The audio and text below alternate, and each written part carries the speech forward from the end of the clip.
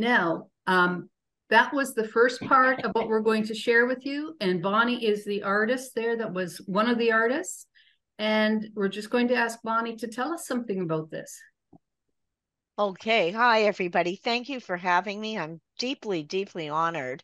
And thank you especially to Anita, who has been stellar, absolutely amazing to work with. She's a wonderful artist, an amazing lady, and feel very privileged to get to know her and call her a friend.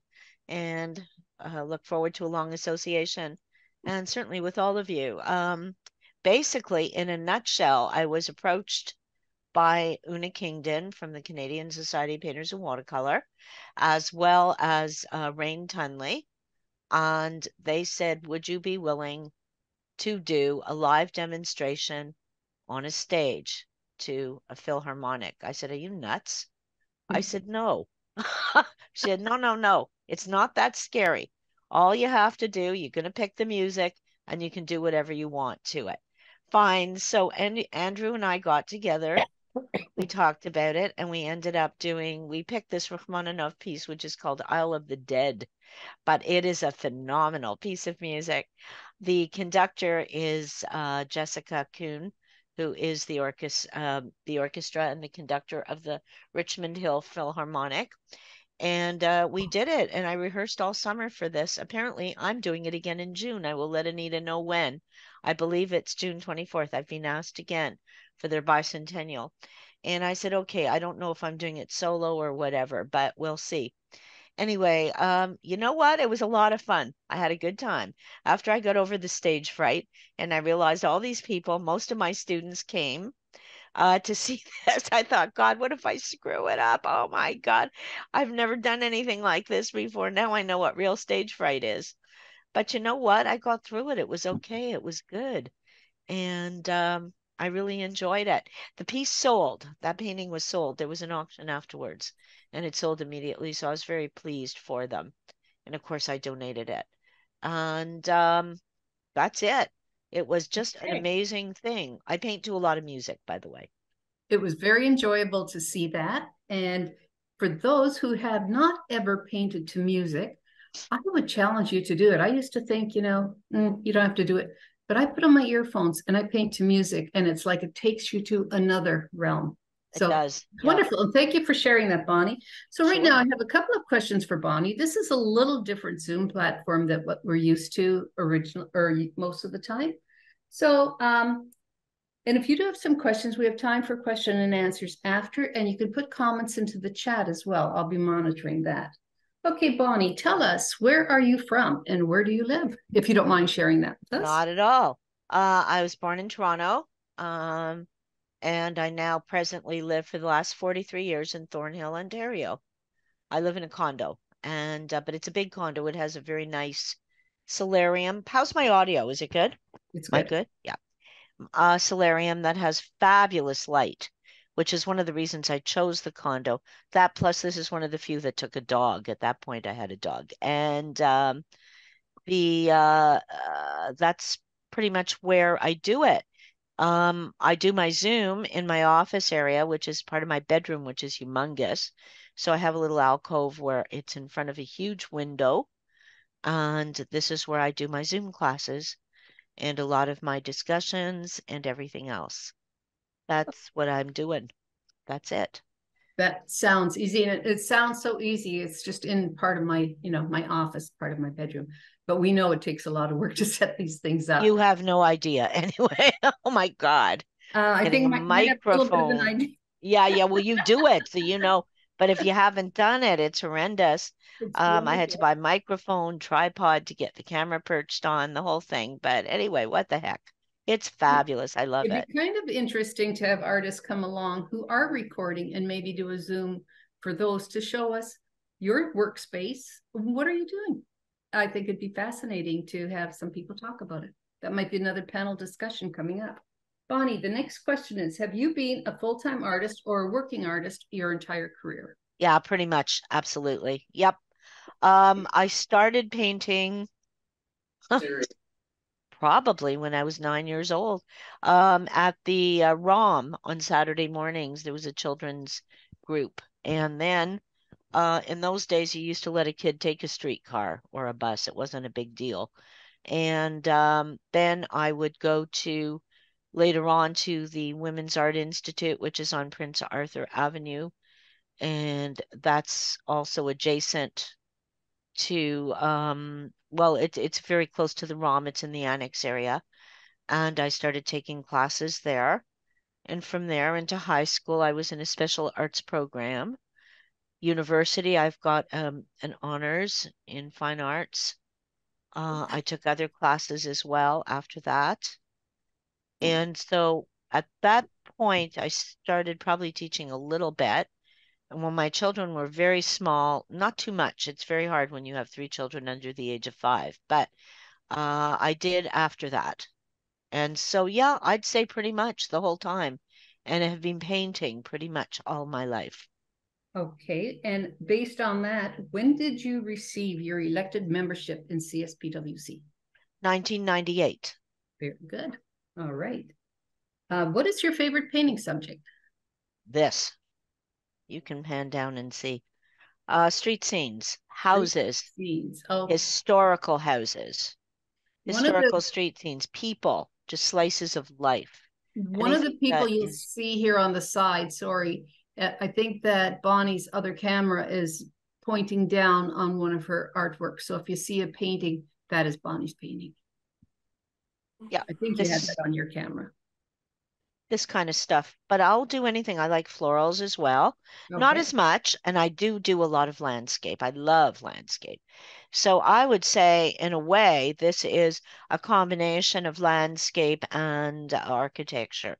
Architecture is fascinating to me. Love it. And um, I do a lot of that. Just finished a workshop yesterday with the street scene in downtown Toronto. So a lot of that, but I will paint all over. I've painted everywhere. Okay. Our next, uh, we do have some other questions here. We're going to leave them. We're going to go for another video here that uh, Bonnie has asked us to share.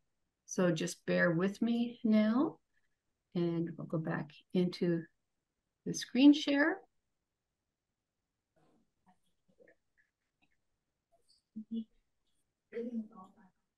All right, this is um, this is a part of the IWS that Bonnie is a part of it. We'll just see one of her paintings and I'll ask her just to give us a few words about it. So just just enjoy the short little intro. I'm Ian Wright, President of IWS Canada. I would just like to take this opportunity to wish you a happy Christmas and a wonderful new year. In this happy time, we bring family and friends together and celebrate the season through watercolor. Thank you to all the members of IWS Canada, and thank you for all your artwork that you've shared throughout the year. Here is a gallery presenting all of that work.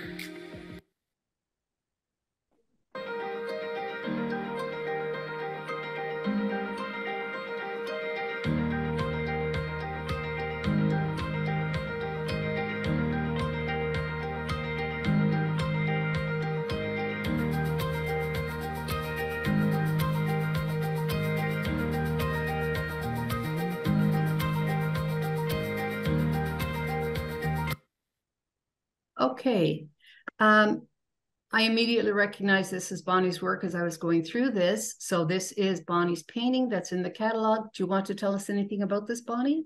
Sure. That's the Thornhill Village Library. There is the oldest part of Thornhill is called the Thornhill Village. And it is actually on Colborne Street. That's where the yellow house was that you see as well. Colborne Street's one of the oldest streets in all of Ontario and Upper Canada. In fact, it's a loyalist area. And I love finding the history. This library, or part of it, the original part, is actually quite haunted. And there's been some very strange goings on there, if you believe in that. The librarians do. Anyway, they won't stay after dark. Uh, but it's a friendly ghost. Uh, I love this library. They have now planted something called a healing garden, an ethereal garden. This is part of it and the walkway into it.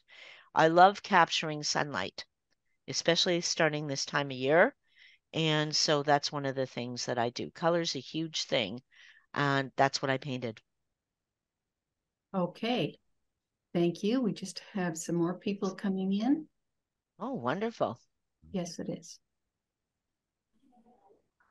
Okay, thank you for that, Bonnie. We're going to move on to um, what this is. It's just a little snippet of it. And this is Bonnie teaching for an art society. We kind of talked about whether we wanted this in here or not.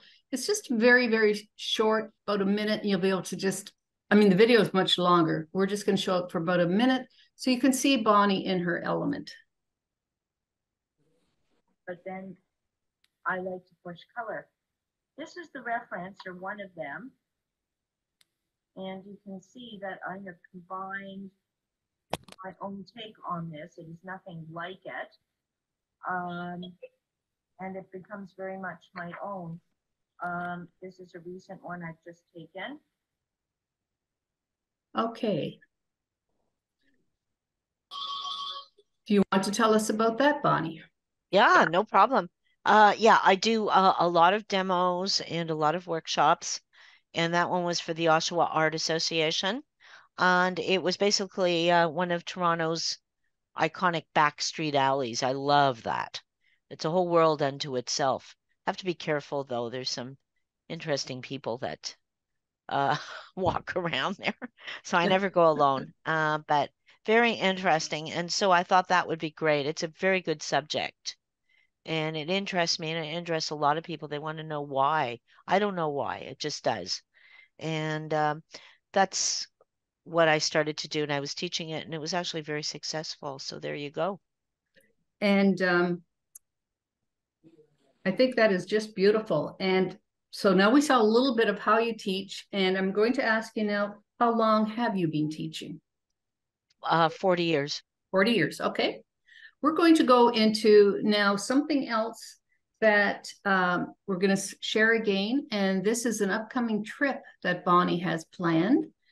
And uh, we'll let her take us out on that. And another question that I have for you is I know that you teach on Zoom, and many people know that, but maybe not everyone knows how to find you. So maybe after the next little share, you can bring that into your discussion. Yeah, sure. Absolutely. All right. So is everyone okay with the screen sharing? You're seeing it, hearing it fine?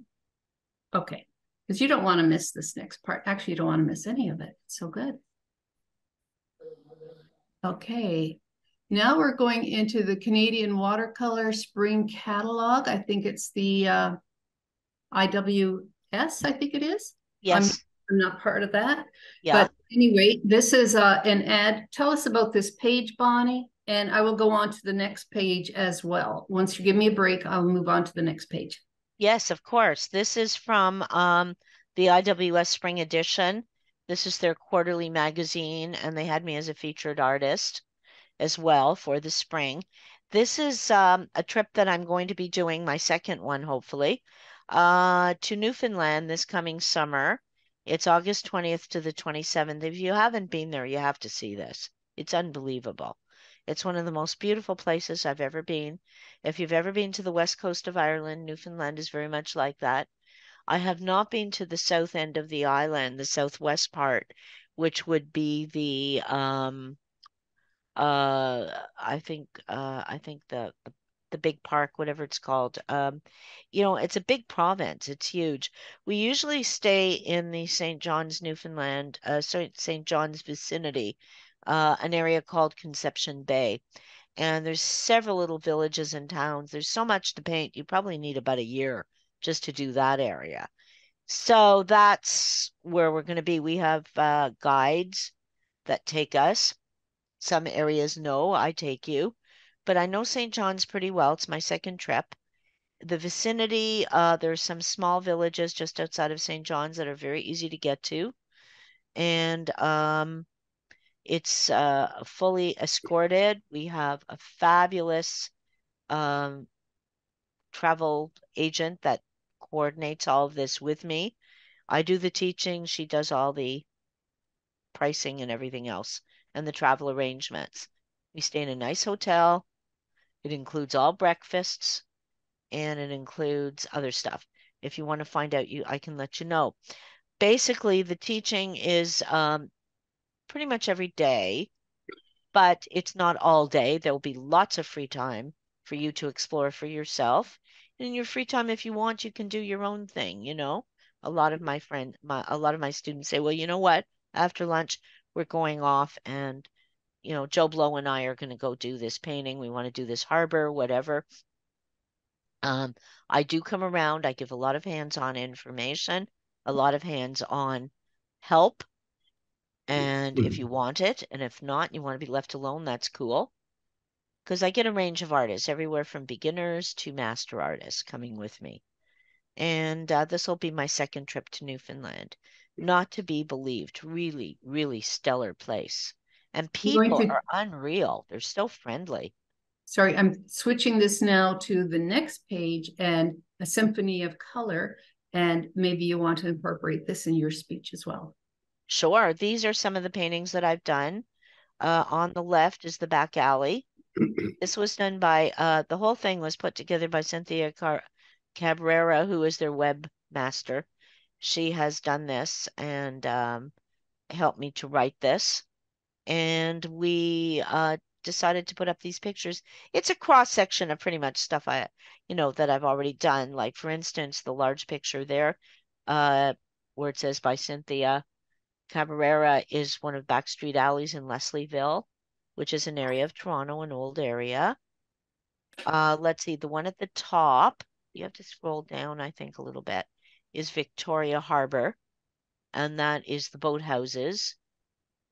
Uh, no, you just have to scroll. That's it. I think you're coming now. I have to find my scroller. Okay, it's right here. I can do, can I do But it? If you can, if, please do, because mine is not visible right now. I don't think it's allowing me to do it. Okay, here you go. There it is. I Yeah, knew, there it I is. knew it worked. Okay. There it is. So Okay, so are you that's the happy with this? boathouses. Yeah, that's the boathouses in Victoria. Uh, we were in Victoria, BC painting. I did a workshop there. These are all one week, by the way. And uh, then next to that is bricks and a brick building called the Distillery.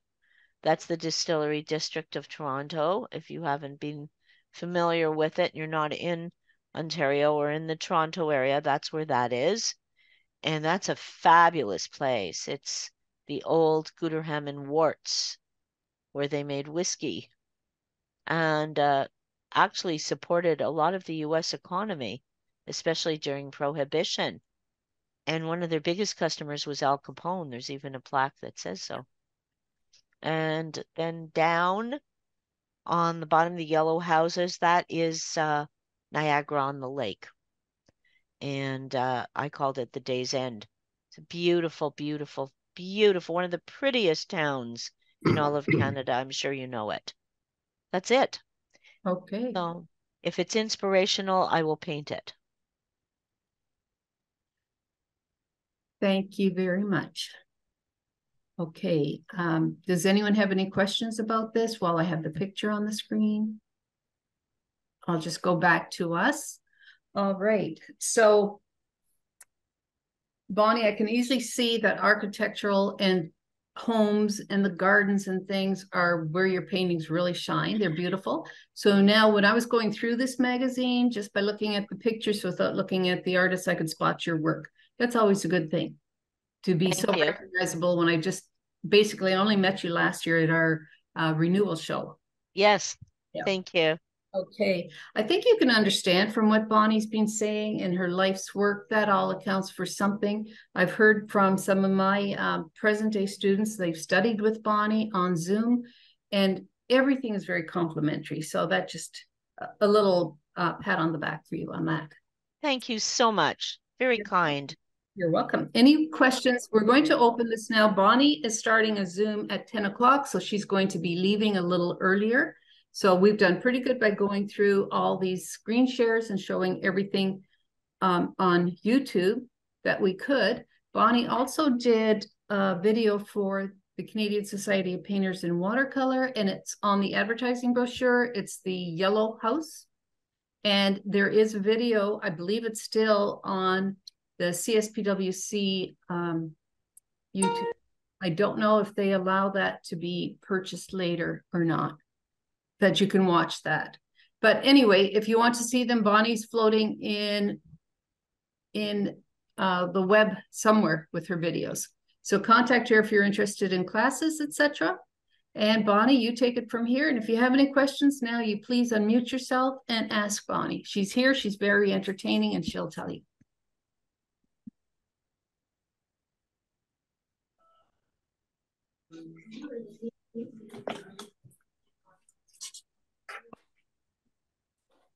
Okay, if someone was speaking up, we didn't hear you.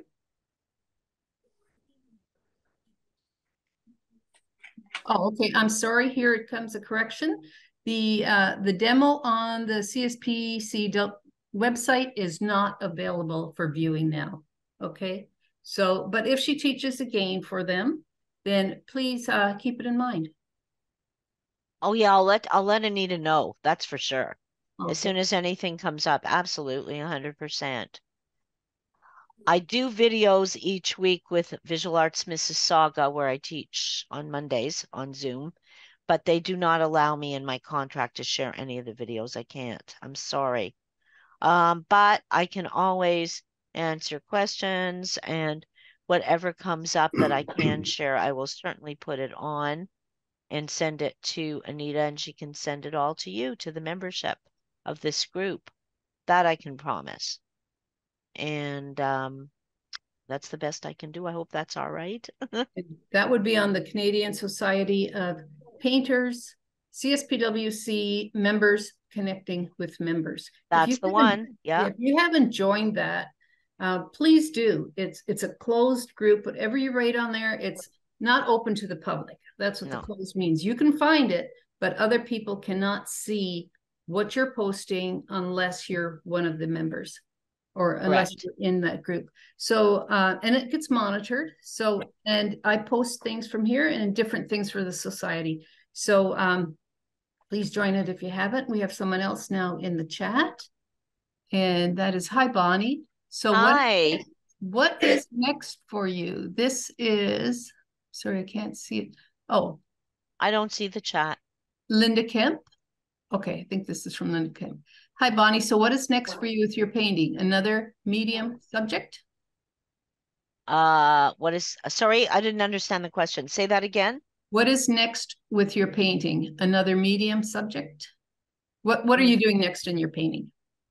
Uh, right now I'm starting, well, I'm doing a whole series of street scenes again. And so, uh, I'll probably be going into some mixed medium. With that, that's still watercolor based and I will be doing pen and ink with that, actually adding pen and ink. Oh, there I see a chat down there as well. And I'll be doing pen and ink, uh, gouache, and one of my favorite things is to do gouache. There's actually a show on right now with the Toronto Watercolor Society. Uh, did I send you the invite, Anita? No, you did not. Oh my God. All right. I can send that right after the class is over at 12 noon and she'll forward it to you. It's on now. It's in Newmarket, Ontario at the Serpa Gallery. I've been just so nuts. I haven't, I knew I was going to forget something. The show is on till the 6th. Okay? okay. I'll be there this weekend. I'll be there on April 1st from 1 to 4 in the Serpa Gallery in uh, the CSPWC. And um, a version of what I'm about to say is there. This is an overlay very interesting kind of process where you take something called Bristol plate, if you've ever heard of it, and I put an overlay of gouache on it. Okay. And, uh, oh, yes. Michael, now I remember you. Yes, you were at DVSA. And anyway, I put the gouache on, let it dry, and then paint over that. It's very creamy texture. It's almost like a an oil painting. It gives a very interesting illusion. That's one of the things I'm really experimenting with. The other thing that I'm doing are starting to get larger again. Very difficult on Zoom to teach more than a quarter of a sheet. You can't really. And or smaller. Live, I'm doing that uh, with larger pieces. And I am also experimenting with complementary color paintings with a little bit of Discord. So all kinds of stuff because color's a huge thing with me. That That's sounds I'm wo- doing. wonderful. And um, we also can only see your camera, your overhead camera. If you think you're being visible to us, it's not working right now. Oh, I'm right here. Um, on Oh, I took the camera away. Uh, the there you away. go. Now we Sorry see. about that. We I'm could hear there. you. We could hear you. Okay. problem. All right. So we did have a question too on who can see the chats. When this is recorded, the chats are not published with the recording. So then the, the chats are gone with that. Um, but we are recording, so whatever we're saying here, uh, that will be on the recording. Yes, please ask. I'll, I'll be delighted to answer. Yes. Am I Okay, supposed no, to it's- read them or are you supposed to read them to me? I don't know. Um, it doesn't matter. I think that's all the chats are covered now. I don't have any other messages on here. Um, I guess my question for you now is you're starting at ten o'clock today with a Zoom. And because Yes, ma'am. students have been calling you. And what are, what is your subject for today? Uh, we're doing a rhododendron. Ooh. Hmm. Very Okay. nice. Well, I don't usually do a lot of flowers, but there was such a huge, oh, can you do a flower? Can you do a flower? I said, well, all right, you know, it's not really what I want.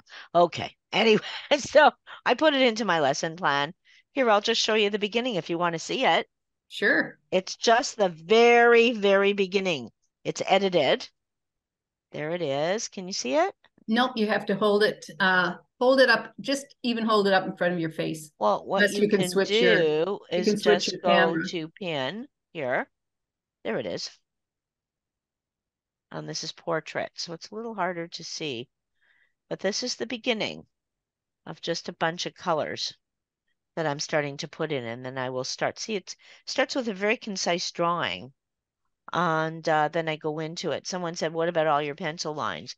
I said, "Who cares? It's in there, you know. It's part of it.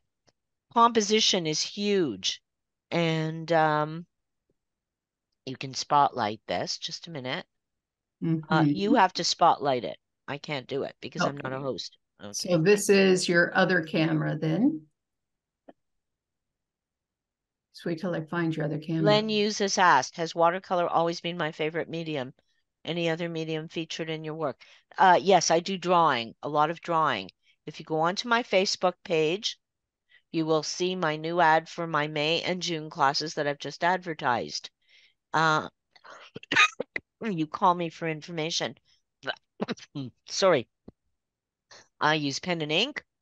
Uh, in drawing, I use graphite. Uh, we also draw with uh, Conte. And sometimes I combine all of that with one primary color in watercolor. Mhm. And people love it. But the drawing is a very, very concise course uh, where atmospheric perspective is studied as well as linear perspective and how to compose. Composition is huge. Mhm. Um, that's what I teach. Hmm, So I do one drawing class a week and basically seven watercolor classes. Thank you, Bonnie. Thank you. Yeah. Okay, Bonnie, so both of your cameras are now spotlighted. So we have your flower drawing on our screen and you. Yeah. And what else can I tell you? Um, so I'm going I to be, I have a question for you, Bonnie. When you Yes, go to Toronto and you're painting these homes, you're going into the alleys, etc. Um, do you need permission of the homeowner to set up and if you're painting on location or if you're just snapping the picture, do you need permission to paint the home and advertise it? yeah, um, no, but you have to be on the street, not on their property. If you want to be on their property, you have to get permission. And very often people are very, very flattered. So, uh, the gentleman that owns this home, I gave him already one version of this, so a small one for himself to keep. Little house portrait kind of thing. Uh, not this one. This one is the new one that I just did. This was done for a Chicago group. This is what they asked for. When they went through my work, the program director uh, said, I like that yellow house. Would you do that for us? I said, Really? I've got so many others. Okay. She said, Have you done it a lot? I said, Yeah, but that's fine. Anyway, no problem. You always seeing something new anyway, right? Mhm. Done this time of year. A little bit later, actually, because you have that um what do you call it? Scilla. I think it's called scilla. Scilla. That ground cover, that purple ground cover on the uh on the lawn. It's a perennial. And um I have done this several times. It's probably one of my favorite streets. As I said, it's a loyalist street. There's a tremendous amount of history here, really. Some of the homes do date back to the beginning of the 19th century. And there's even one that is 1776, the remnants of it. That's an interesting area. P.S. Thornhill was home to the group five of the group of seven. Just in case you didn't know. I did not know that. Isn't that interesting? It is. Uh, Bonnie, when you do all these detailed paintings with the gardens and that, are you a purist in watercolor? And there's nothing wrong if you are or not. No, uh, not always. As I said, I use gouache and sometimes pen and ink. Now, Okay. this is a pure watercolor right here. This one is. But I have the others uh, that aren't, and I have y- the pen and ink in them. Uh, the one that I wanted to show you that's in the uh, Toronto Watercolor Society show is the one with the gouache, and that's the overlay of watercolor on gouached watercolor paper and the addition of gouache. It's a fabulous technique. It's something I like to teach now and then, and sometimes I use canvas. None of those are applicable to the Canadian Society of Painters and Watercolor. Maybe the gouache, sometimes if it is a mixed medium show. But if it's a pure watercolor show and they're asking for transparent watercolor, no. You have to be very careful about what you're doing and where. So that's what I'm doing. That's pretty much it. I do use Yupo. Uh, not a lot, but sometimes I do like it. Uh, what else? Um, that's pretty much it. But yes, I use mixed medium, so no, it's not always pure. Occasionally, and very seldom, I have used dry mediums such as um, pastel to exemplify certain things if it's a slightly abstracted piece. It can go. It can be very interesting. And I do a lot of experimenting with different colors right now. As in, could you explain that with different colors? Yes, um, if there is a color combination I especially want to explore, I will go into different tones of the same colors. So different values, in other words. See what happens with the addition of white gouache. See what happens with the addition of neutral tint on their own. And then adding, say, a third or a fourth complementary color. Color is one thing that I have um, a lot of um, interest in, and so color is something that I studied uh, in a design course. And I thought it was going to be fun, and it really wasn't. It was based on chemistry and physics. It was really kind of boring anyway, but I got through it and um, learned a lot about how we see color. Learned a lot about mood later on through an artistic endeavor. Uh, learned a lot about, you know, study with as many artists as you can as well on your journey. I still do. I have a hell of a lot to learn. The more I learn, the more I realize I don't know. How important is color saturation in your paintings? And do you intuitively paint with color saturation or do you make it um, Yeah. a mission in your painting? What do you mean a mission? That that I'm going to use a lot of color saturation in this painting, or do you just paint and it comes intuitively? No, no, uh, no. I mean, it depends on the subject. It would vary. Um, I mean, the piece that you saw that I did with the symphony, for instance, was uh, a whole thing. The whole thing was done wet and wet. So there wasn't a lot of color saturation. And of course, it fades. We know that watercolor fades by 40% when it's wet and into wet. So I had to glaze it as much as I could as long as the paper stayed wet. And that was the end of that. In a traditional watercolor, this is glazed. So you do your underpainting, your local color, the glazing of your shadow, and uh, then detail. So there are four stages. I do not paint just directly and leave it at that. I wish I could. I have studied with artists. By the time I'm set up, they're finished. I can't paint like that. It's just not who I am. And you know what? I tell that to my students, paint who you are. Paint what you are. If it's uncomfortable for you to do four stages, don't. Just start painting right in. I'll help you with it. But I do strongly suggest you have a very good drawing. That's imperative. I've seen your drawing on this house, Bonnie, and it, uh, I'm asking a lot of questions. But if you have questions, please, please just speak up, okay? Because she's only here for a little while. So this is now we have Bonnie with all this this knowledge on the arts. So let's let's ask. Okay, I saw your drawing on this, and I thought the drawing had a lot of pencil work on there. Do you just paint over it, or do you draw directly on your watercolor paper? Uh, both, both. Okay. But it becomes part of the process. You know, a long time ago, I saw the late Doris McCarthy's paintings, and there was a lot of pencil on there. And Oh, I yes. thought, well, what the heck? Who cares? If she can do it, so can I.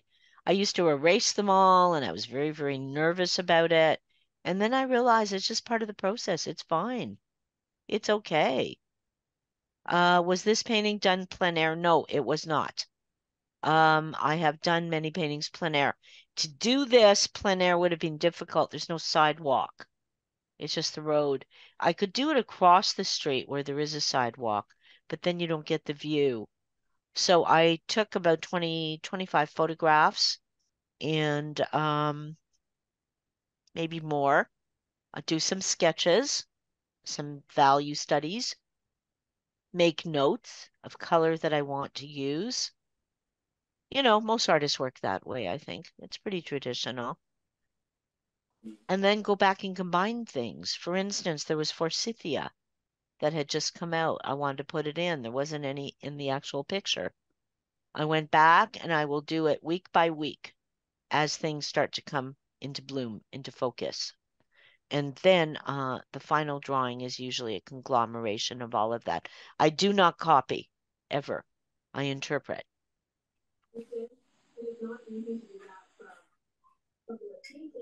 But I do do a lot of stuff plein air. If you go into that CSPWC magazine, uh, sorry, the IWS magazine with myself as a featured artist, uh, in there is one of my pieces that I did do plein air, which was um, on North Rustico Beach in Prince Edward Island. I was there last summer. So I've done that. And that was done right on the beach. Finished in my studio, but started on as a plein air. Okay, and regarding the pencil marks, um, I agree with you, Bonnie. I used to just take every one out because as if it would be, you know, the so so terrible to have pencil marks, but you know what they are? They're part of the artist's journey. Yeah, exactly. And I don't mind sharing that. There's nothing wrong with it as long as it doesn't overtake. Right. Um, you don't want to use a black pencil. I just use an HB. Um, and I never use a 2B to draw because it's too soft. HB is usually the right uh, the right strength. Okay. Yep. Um, just one artist that I really admire. Just last week, I was listening to him, and he said, "You know, when you're an artist, just be honest with yourself. That's all anybody asks, because that's going to come through in your paintings." And I think You betcha. Absolutely, you a were saying that, I, I thought, yes, okay, I realize that too. And you can't just paint subjects for someone else. I mean, if you're doing a Zoom and they ask for something, yes, you do need to do that. But for yourself, unless it's something that you love, why torment yourself with something you have no interest in? No, be true to thine self. Yep, There's for never sure. a truer statement. And so if there's something I don't want to paint, I don't do it. Not for myself. I will only paint for myself what truly inspires me. That's what I put into my into my I mean that's part of your soul. It's part of who you are. You have to, you know, um you have to be true and be honest. If somebody said to me, "Why don't you do animals?" I said, "Well, I love animals, but I don't want to paint them." I said, and what about people? I said, yes, I do figures. I don't do portraiture. Portraiture is a very difficult subject to teach. You have to have a very good knowledge of anatomy. I have it.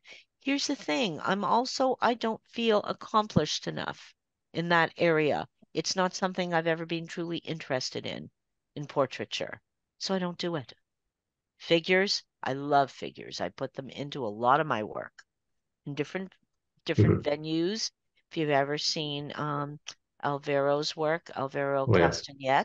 Mhm. and you can see his small little figures. They're just dropped in. Larger figures, yes. Um, I have done, I think there was one I did last year of a figure walking down in the snowstorm. Um, all sorts of things. So that is something I'm interested in, in enhancing a painting.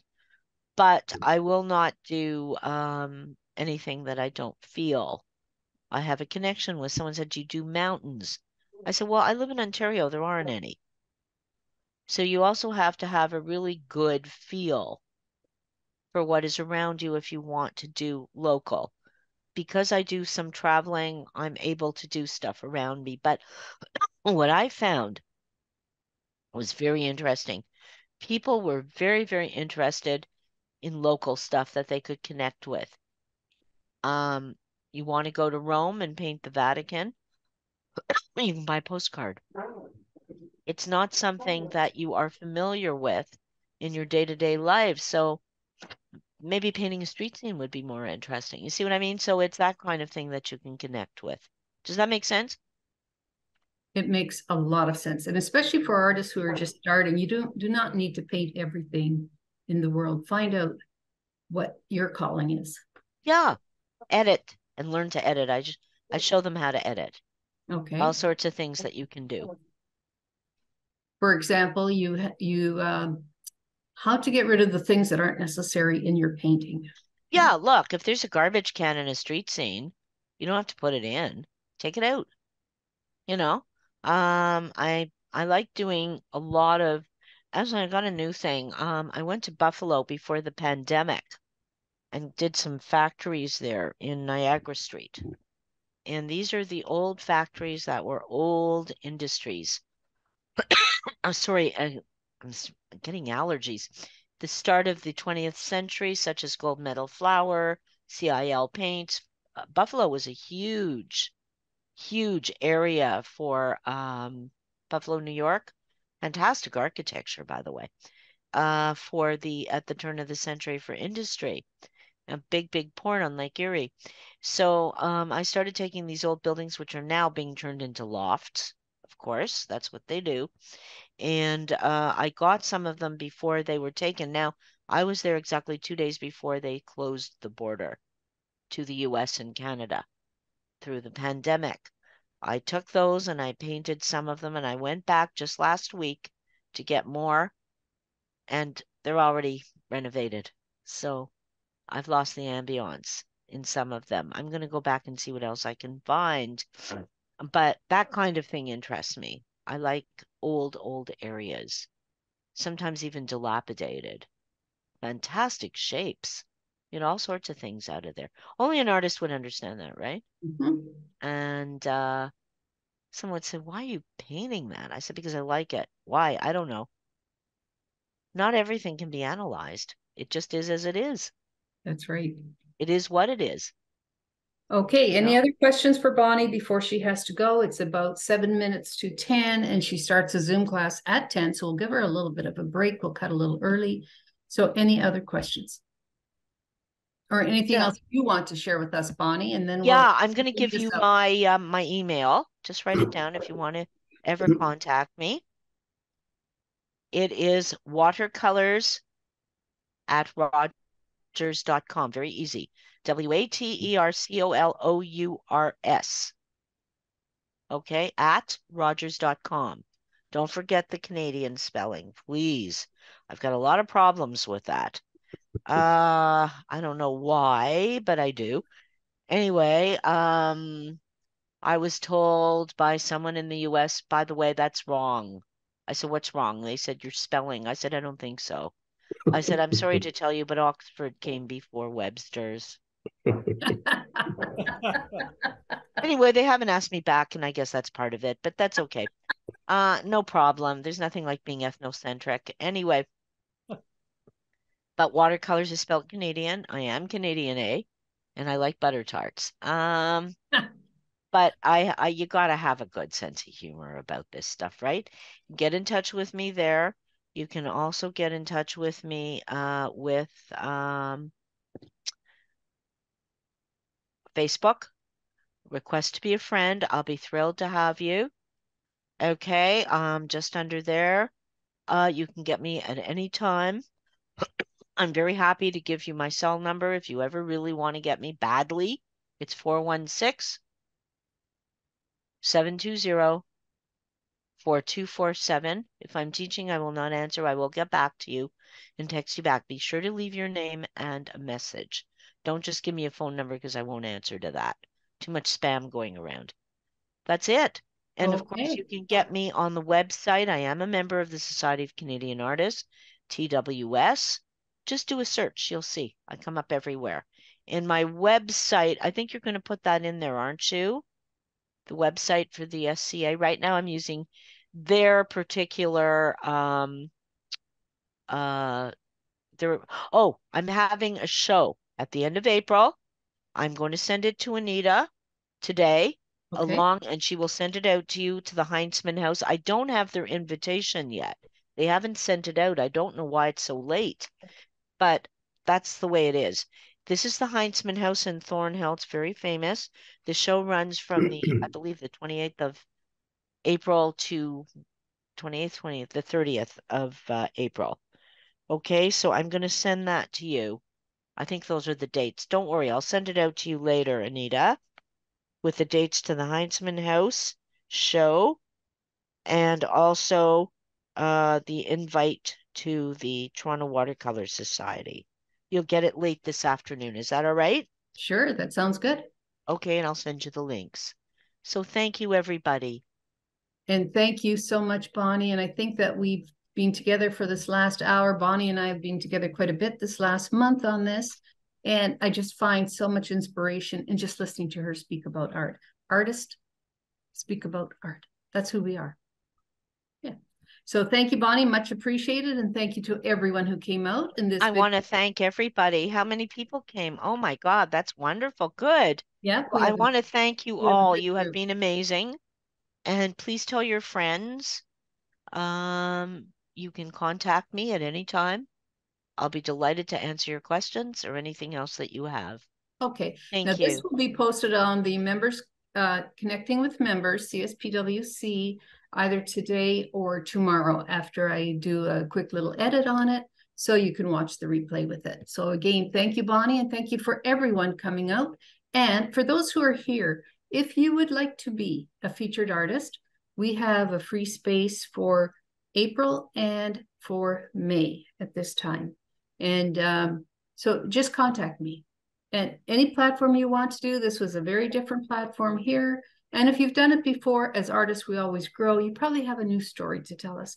So contact me and we'll put it together. So thank you very much and have a good day, everyone.